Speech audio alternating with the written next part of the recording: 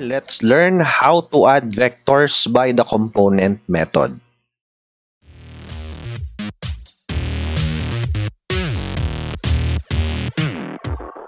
So, noon, inag-add tayo ng vectors using the graphical method which is uh, medyo mahirap kasi kailangan mo ng ruler, kailangan mo ng protractor, and also kapag nagkamali ka, uh, hindi, hindi siya accurate na way, no? Unless AutoCAD mo ginagawa. But anyway, we have here another method and that is by the component method. So, bago natin gawin tong example na to, let's talk about uh, vectors of the same uh, direction. Kunwari, may dalawa akong vector going at the same direction. And let's say 10 ito, tapos yung isa ay uh, 8. What will be the magnitude? Since pareha sila ng direction, pwede nating i-add kaagad yung yung magnitudes nila. So the, the resultant will be 18 units long. Okay? Now, yung component method makes use of this property of vectors na kapag parehas ang direction nila and they are pointing at the same direction, we can simply add the magnitude without regards dun sa, sa direction. Makukuha na natin yung resultant or the magnitude of the resultant. So, how is that? We have here an example. Add the following forces. Meron tayong uh, isa, dalawa, tatlo, apat na forces. 20 newtons due east, 50 newtons due north, 25 newtons uh, 25 degrees above the positive x-axis, and 10 newtons 10 degrees east of south. Gumawa ako ng table para ma-describe yung mga yon. So, ito. This is the force. 20 newtons due east. Pag din-drawing mo siya, ganito, 20 newtons. 20 yung haba niya papunta sa east. And then we have here 15 newtons due north. So, pataas, 50 newtons. 25 newtons, 25 degrees above the positive x-axis. Ito yon And then 10 newtons east of south. So, south direction is pababa, 10 degrees papunta sa east. Ang ginawa ko, bawat isang force, kinuha ko yung rectangular components, the x at saka the y component. So, una, si 20 newtons due east, ang kanyang x component is 20 cosine of 0 degrees at ang kanyang y component is 20 sine of 0 degrees. Now, uh, kahit di ko na-solve to, alam ko na ang x component ay 20 at ang y component ay 0. Kasi as I can see, it's purely in the uh, positive x direction. Si 15 newtons naman, purely pataas siya, so I don't expect it to have an x component. This should be x. Okay? Wala siyang x component dahil purely pataas siya, so 0 newtons ang x component niya. Ang kanyang y component is 15 newtons. Here we have 25 newtons at 25 degrees. Ganun din. Gagamitin lang natin yung relationship natin na na-derive kanina. We have 25 cosine 25 degrees and 25 sine 25 degrees to get these values. Okay? Now, 10 newtons east of south. The direction is pa-south at saka pa-east. So, we have 10 sine of 10 degrees. Bakit hindi cosine ng x component? Tandaan, no? Ang definition natin kanina, yung theta natin nandito.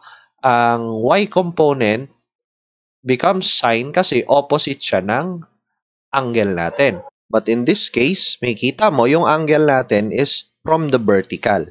So, yung x niya, yung x component niya, yun ang opposite ng angle. So, siya yung gagamitan mo ng sine uh, function.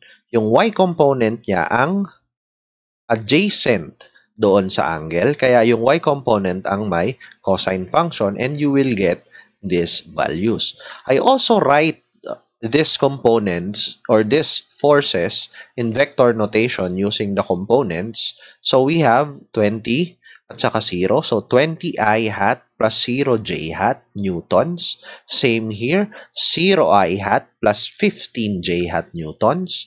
And then we have 22.658i hat plus 10.565 565J hat newtons. Now, on the last force, 10 newtons east of south, may kita mo, 9.848 I hat minus, okay? Minus. Bakit? Dahil pababa siya. Tandaan, J hat describes the positive y direction at dahil pababa siya, you, you subtract it or gagamitin mong sign is a negative sign. So, minus 1.736 J hat newtons. Continuing, nung na nakuha na natin yung components, pagkakuha mo ng components, so nilista ko dito yung bawat forces. We have F sub 1 hanggang F sub 4 vectors. Ito yon. Now, remember na kapag parehas yung direction, pwede mo na silang i-add ng diretso. Lahat ito, lahat ng x component are in the i hat direction. Lahat ng y component are in the j hat direction.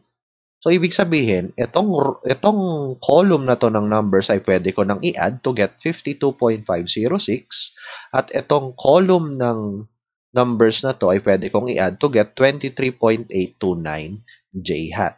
So, ito na yung sum or the resultant in vector notation. At nagawa natin yan by first getting the components of each force and then summing up yung uh, components in the same direction. So, this is the i hat direction or the positive x direction. This is the j hat or the uh, positive y direction. After nyan, kung interesado kang kunin yung uh, magnitude, we can express our uh, resultant in what we call the polar form. So, ang vectors can have the rectangular component form or the polar form. As you can see here, this is uh, f sub x plus f sub y. These are the rectangular components. Ito yung ginagamit natin doon sa may i hat at saka j hat. Pag inad mo sila, di ba, ang makukuha mo is uh, the resultant f or a single uh, magnitude f at saka an angle from a specified reference, in this case, the positive x direction. This is the polar form of our vector. At from Pythagorean theorem, di ba?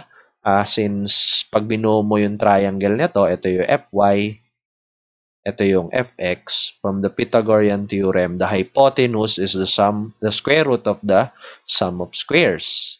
Yung square ng fx at saka square ng fy sum up mo lang. And to get theta, you just use one of the trigonometric function. You can use the tangent. Siyempre, ang tangent ng theta is fy over fx. To get theta, you get the arctangent of fy over x. You get the arctangent of fy over fx, or you can get the arc cosine or the arc sine. Any of these three functions is okay, is good enough. Now, balikan natin yung nakuha nating sagot kanina sa resultant. The resultant is in a vector component form. Now, I, I am interested in converting it into a polar form. The magnitude of the resultant force, you can get easily using the Pythagorean theorem. So, the resultant or the magnitude of the resultant is 57.66 newtons. So, in direction natin is theta is equal to arctangent ng Fy over Fx and I will get the direction is 24.41 degrees. Pag drawing ko yung resultant natin, it's a vector pointing in this direction, naka-incline ng 24.41 degrees from the positive x direction at meron siyang haba o magnitude na 57.66 newtons. Pag sinulat ko, ito yon. Ito yung description ng resultant vector. The resultant vector is 57.66 newtons at 24.41 degrees above the positive x direction. Marunong na tayong mag-add ng vectors using the components and the graphical uh, notation, o uh, graphical method. Marunong na rin tayong mag-convert from polar uh, to component at saka from component to polar form. I... Like mo yung video kung ayos. Pag hindi, pag mo i-dislike, leave ka ng comment kung bakit, ha? Sige na, subscribe.